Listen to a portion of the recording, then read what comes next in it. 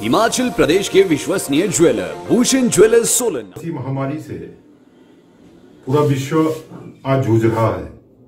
विश्व स्वास्थ्य संगठन डब्ल्यूएचओ समय समय पर देश की सरकारों को दिशा निर्देश जारी करता है और देश की सरकारें इन नियमों को राज्य सरकार तक पहुंचाती हैं। और राज्य सरकारें विपक्ष को कॉन्फिडेंस में लेके, लोगों के भले के लिए इनका क्रियान्वयन करती है, और हिमाचल प्रदेश में भी यही हुआ है। हिमाचल प्रदेश में विपक्ष को कॉन्फिडेंस में लेके, राजस्थान और पंजाब, इन दोनों में जो लोग हमारे फंसे हुए थे, उन लोगों को वापस लाने के विषय में चर्चा हुई, और उस चर्चा के बाद उनको कैसे कैसे लाया जाए, ये डिसीज़न हिमाचल प्रदेश की सरकार ने लिया। राजस्थान और पंजाब दोनों हिंदुस्तान के इसी देश के अभिन्न अंग हैं और विपक्ष के नेता का ये कहना, मुकेश अग्निहोत्री जी ने ये अपने विचार दिया कि वहाँ फंसे हुए लोगों को वहाँ की सरकारों ने पहले लाया, एक दिन पहले लाया या कुछ घंटे पहले लाया। ये बात ठीक है कि वहाँ के फंसे हुए लोग वापिस आने चाहिए। ये वहाँ की सरकार का नैतिक दायित्व भी है और उनकी जिम्मेवारी बनती है। अगर वहाँ की सरकारें उनको नहीं लाती तो उनको कौन लाता?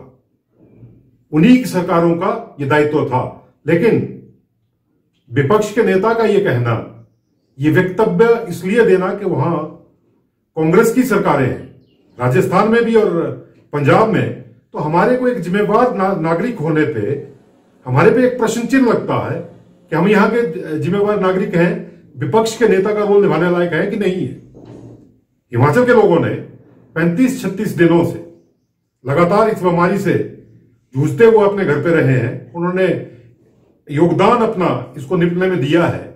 और उन लोगों को जब बाहर से लोग आएँगे तो उन लोगों का सुरक्षा के घेरे में या उनका भला बुरा, इसका डिसीज़न लेने में हिमाचल प्रदेश की सरकार और मुख्यमंत्री ने बिल्कुल ध्यान रखा है ताकि वहाँ से आगे बीमारी यहाँ ना फैले। और मैं, मुझे खुशी है कि सरकार का जयराम ठाकुर जी ने यह निर्णय लिया है कि पंजाब, राजस्थान, हरियाणा, दिल्ली या जो भी हिंदुस्तान में राज्य है, वहाँ से लोगों को चरणबद्ध तरीके से, यहाँ के लोगों को, लोगों की सुरक्षा सुरक्षा को ध्यान में रखते हुए सभी लोगों को वापिस लाया जा रहा है।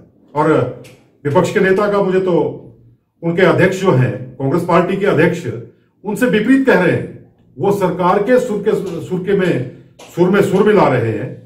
और वो कह रहे हैं कि सरकार की उन्होंने प्रशंसा की है।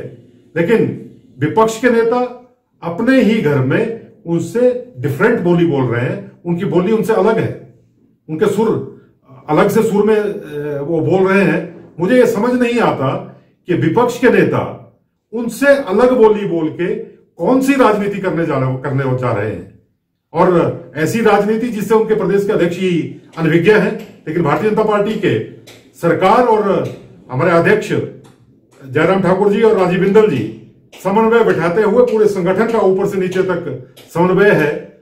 और इस समय, ये समय राजनीति करने का नहीं राजनीति का फिर मौका आएगा, राजनीति कर लेंगे। और मेरी इस सफलतापूर्वक जो हिमाचल में इस बीमारी महामारी को कंट्रोल किया है, और जिस जिस तरीके से हम आगे बढ़ रहे हैं, ईश्वर ईश्वर से मेरी विपक्ष को यही यही मेरी गुजारिश रहेगी कि ईश्वर को प्रार्थना करते हो, वो भी सबकी सलामती की दुआ मांगे, ना कि इस वक्त राजनीति अपना नफा और नुकसान देख के करे। इससे प्रदेश का भला होगा।